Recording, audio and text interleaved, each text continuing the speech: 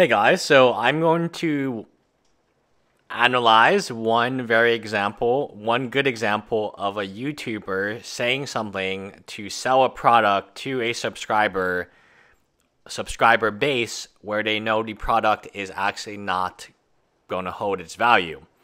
Now this happens to a lot of a lot of people do this. And sometimes it's not as clean cut as a card, but in this example, we have a certain card, Creeping Tar Pit, and it was being promoted by the Mana Source as a good buy. You should pick them up right now from TCG Player so we know who the advertisement is targeting.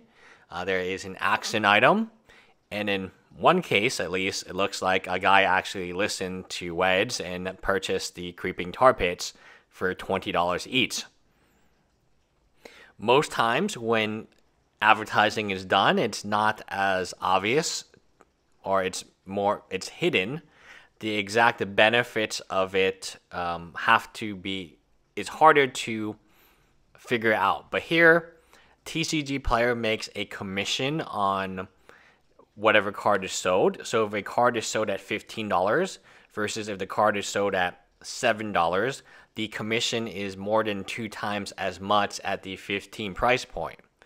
So in this case, TCG player does directly benefit from Wedge saying to buy Creeping Tar Pit at 15, even though we all know it will eventually hit 7 for the regular version, which is not selling as much and it is currently under four dollars shipped for the Ultimate Masters version.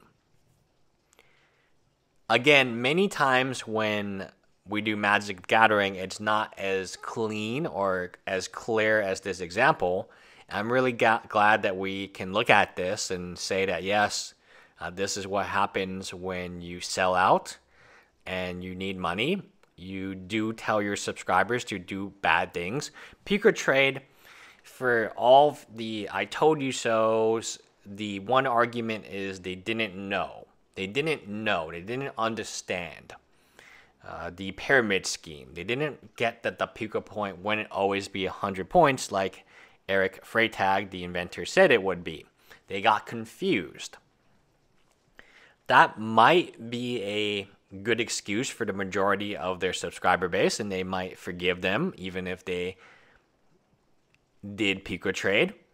But this is even more clean cut. This is the best example I have of a YouTuber who sold their subscribers a product to benefit their pocket line, if you will, or to benefit their sponsor, which is TCG Player, because TCG Player makes more money at 15 than they do at 7 by telling their subscribers to do something that they know they should not, they themselves would never do, which is buying Creeping Tar Pit at a price right after people knew it would be reprinted. And now that it has been reprinted, I think that we're going to see it the low price of $7. I'm happy making the video at this price point. It might go even lower. The $7 is for the original and does include shipping. So, why does this happen? Um, it happens because people make money from you guys. It's very simple. Uh, sometimes they sell you a box for $80 and they sell your subscription fee. Uh, that makes a little bit more sense because it's less deceptive. Um, it's more like a Costco method, and you do get a booster box after you pay your money sometimes people sell you a dream, a hope. Uh, the hope of Puka was very simple. It was that you could trade your bulk cards you don't need for a Force of Will or a dual land. That was the hope. Uh, it turned out that hope was a scam, but I've already said that many times. Or a monthly magic box. Sometimes products appeal to casual players and the value people want that there is a value proposition so the monthly Magic Box, supposedly, according to some YouTubers, had 60 to $80 of value every month that you were only paying $20 for. That was a value proposition that was later turned out to be a scam because not assuming that if it was even worth $20 to begin with, it was not being sent to those people. It was only being sent to YouTubers who gave it raving reviews. Here, is a very clean cut example of a card that everyone and their mother should know would not go up in price. And yet we have a YouTuber on a video about MTG Finance and actually focusing on cheaper card prices due to reprints. A, not mentioned this is going to be reprinted, although he knows because it's a box topper. It's one of the first cards that was revealed or spoiled. And B, still made a video. There is no way in editing Wedge watches this $15 mark and no and and has any hope that somebody buying this at 15 that was a good buy for them. There's no way. There's no gray area. There's no I don't understand economics. I don't understand PucaTrade. Um, there's no tuition should be free, pay my student tuition, I don't understand money, I don't understand healthcare. There's no gray area. There's a lot of gray area even in the GoFundMe. You might say, oh, well, he really did pay that much money. You know, it's hard to argue because um, there's not a exact number. So numbers don't lie, follow the money, and money doesn't lie. Those are the two things that are true in life is emotions and feelings and donations and uh, begging for money. That might you might give money if someone begs for it because you feel bad. But does that person really need money? Does that is that person actually a millionaire pretending to be homeless? Maybe they make hundred thousand dollars from YouTube. Who knows? But at the end of the day, um, that's really hard to prove someone's income without their tax document. Here, I can directly say this card right now is, I mean, four dollars shipped for the non original version and seven shipped for the original version. There's no one, I think, in MTG Finance that would have made this call. Now, in a alternate universe, I couldn't even see this card. Uh, how would Creeping Tar Pit go up in price after it's been reprinted as a rare? And why would you tell people to buy at 15?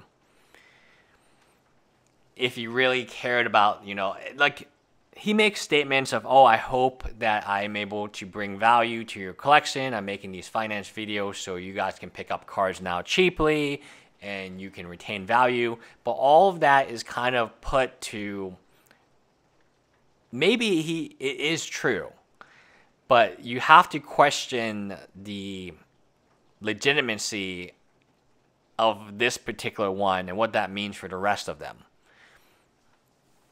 So I've seen a very strong interest in the Mana Source of making MTG finance videos.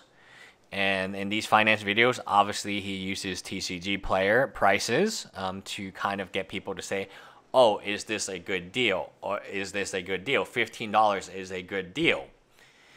And a lot of people will listen to him. A lot of casual players who don't understand um, I don't know, like, if don't understand is maybe they ignore the bright flashing lights that reprint, reprint, and they go on and continue to buy these cards, although it is very sad. I think it is quite sad, actually. Um, no one should ever make. At some point in time, Peacock's trade was a scam, and they all realized that. Uh, what happened with the monthly Magic box was very early on subscribers told Tolarian and told Wedge, and they told um, the Facebook group, all the YouTubers on their Facebook group, that they were getting comments from people who didn't receive boxes, and their subscribers were worried, and they were being double charged, sometimes triple charged. And they would post these things to our Facebook chat, and then I made a video about that, and that upset them. It really upset them, and I said, why? Why should I upset you? You should address the issue now. Why would you wait all this time and continue to pump out videos promoting the monthly Magic Box, although you know and I know that it is a scam? It's image. Uh, and it's the same reason they're going to say buy Creeping Tar Pit at $15. It's because they really believe their subscribers are A, dumb enough to do so, and B, they want them to do so. Otherwise, why have this screenshot and why have a promotion for this? You could pick any card you want. Any card you want. And it would have been better than this one. I mean, literally any card you could promote it would have been better than this one because very few cards can tank value from $15 to 7 original and 15 to 4 are free um, over a few weeks. That's exceptional tanking value. Like you if you were to pick a card that would, you know, drop the most amount of money, it would be probably one of these manlands because A, they're rare and B, they are manlands, so there will be many of them. So, yeah, I mean, this is this video on November 6th. It's been a month, almost exactly as of my recording this video. And I've been waiting and waiting, and there's no clearer example than this. Uh, PucaTrade, monthly Magic Box, you've heard me say it many times, but still, some of you don't believe it. But believe this this is clean cut. A card for $15, if you listen to him, a month later is worth seven. Near mint, still near mint. Why would anyone tell you to buy this card when they know that it will go down in price? And it has gone down in price. So obviously, I couldn't make this type of video unless I saw the recent price. I do feel like it will go down a little bit more. The Eternal Masters one will probably it's already under three dollars and but then shipping and stuff. But I feel like it will climb down and down and down because there's just so much of this being open right now. But this shows you the danger of listening to YouTubers. Now, if you buy a product from a YouTuber, check the price. Is it the lowest price? If you're okay with giving a YouTuber money and that's your rational decision, then do it. But if you're buying this card because a financial expert, junior cheeseburger expert, is telling you that this is a good buy, that's kind of deceptive. Um, that's very deceptive for somebody to make a video. Like talking about how the manlands are going to come down in price with the upcoming reprints, right into buying creeping tar pits right now. You guys better go buy them up, like Wedge says, so you can get host after Ma- Ultimate Masters drops. Way to go, Wedge. And so this gets free likes Wedge posted a picture of a cheeseburger, I'll get like a thousand likes on Twitter, right? So there's kind of this disconnect between his subscriber base and what they are being subjugated to. I know out of Wedge's subscribers, 5,000 of them, because he had a homepage thanking all 5,000 plus of them, signed up for PucaTrade. I wonder how many of them are too embarrassed or ashamed to say that they are signed up for PucaTrade because of Wedge.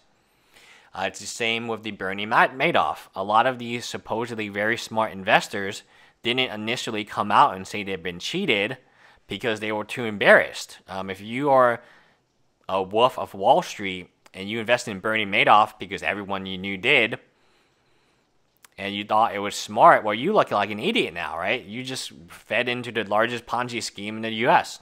or ever. So who's going to put money with you again, Wolf of Wall Street? And that's what's going on with these YouTube celebrities, where um, I think people are just too embarrassed to say that they've been scammed. And I view this, I mean, when something is $15 and you tell someone to buy it and you know that money's being made by your sponsor after more money is being made at 15 than 7 man that's that's a terrible way to do it that's i mean you have to hold yourself to a higher standard anyway Bye, guys.